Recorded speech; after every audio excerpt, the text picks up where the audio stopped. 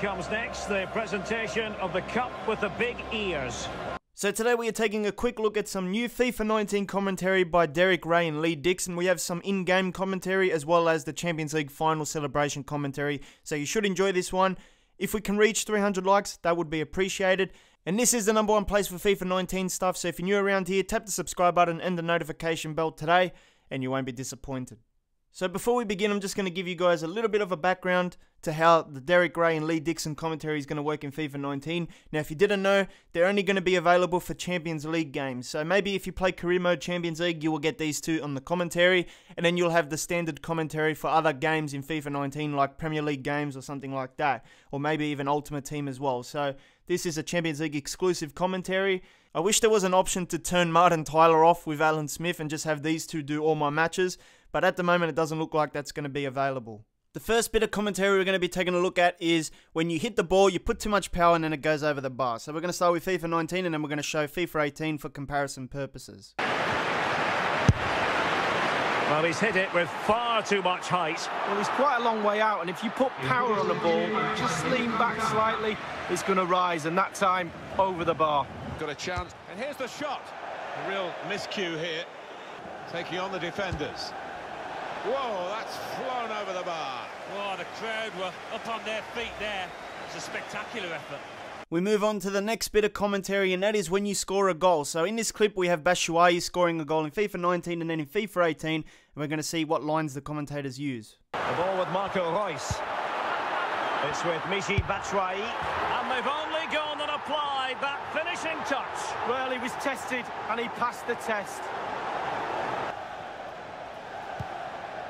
Batshuayi! Two in front now. Well, keep the concentration, and they've won this match, I think. The next bit of commentary we're going to be comparing is just general gameplay when the announcer announces who's got the ball and who's passing it to who and stuff like that. Now it's Alexis Sanchez. Paul Pogba. Young. The official word on the electronic board, one additional minute. Here's Gutsu now. Alexis Sanchez. Pogba. It was indicated there will be a minimum of three minutes. It's with Ashley Young. Matic. Pogba. Alexis Sanchez.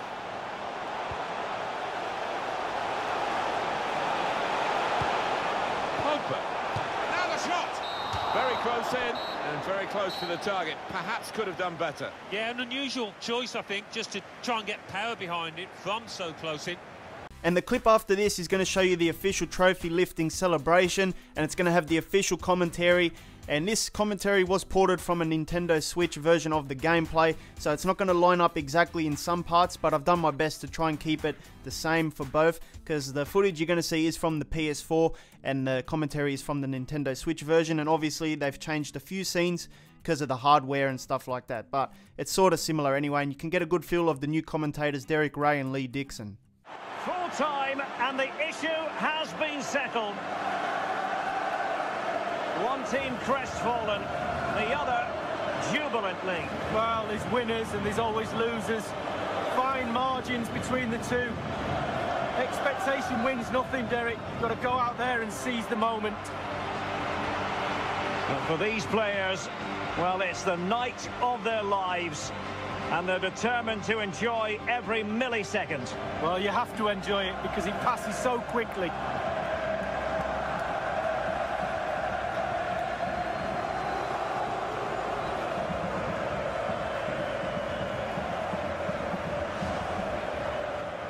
They know what comes next, the presentation of the Cup with the big ears. The Champions League winners in 2019.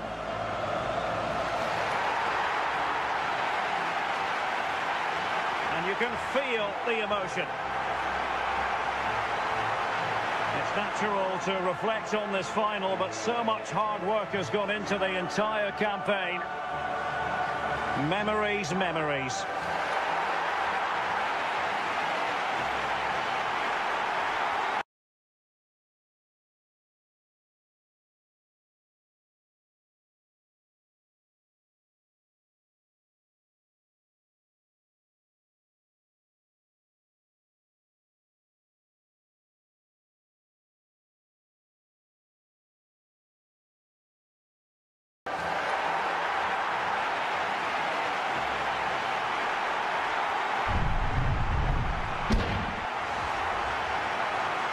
The chance for a photograph.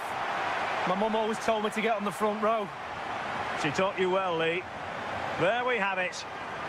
The Champions League victors for 2019. So I didn't think it was fair to compare the FIFA 19 winning celebration commentary with the uh, FIFA 18 stuff because we don't have the Champions League in FIFA 18, so I didn't think it was worth it. So I'm just going to give my final thoughts on the new commentary. That is all I can show you today in terms of new commentary, but I think there's enough there to get a feel of the new commentators. I do think it's a refreshing thing to have new voices in the game. Uh, even though they're only Champions League specific for the game. We can't use them outside of that. I think that's a little bit of a shame. I wish we had two options. Maybe in the future, FIFA 20, FIFA 21, we might have both commentators in the game. But EA, they love their Martin Tyler and Alan Smith still. So you're going to be hearing them still for the for the next year, I guess. And yeah, at least we'll get Derek Rae for the Champions League games just to break it up a little bit when you're playing career mode and stuff. But I will leave you with this. You've got to remember that Lee Dixon and Derek Rae have recorded probably more lines than what I've shown today, obviously. Um, they're not just one line for different scenarios. They probably recorded three or four different ways to say the same thing. Just like when you hear Martin Tyler and Alan Smith do commentary in FIFA 18, it'll be the same thing. And if you guys could leave a comment letting me know what you think of the new commentary, I would like to have a discussion with you.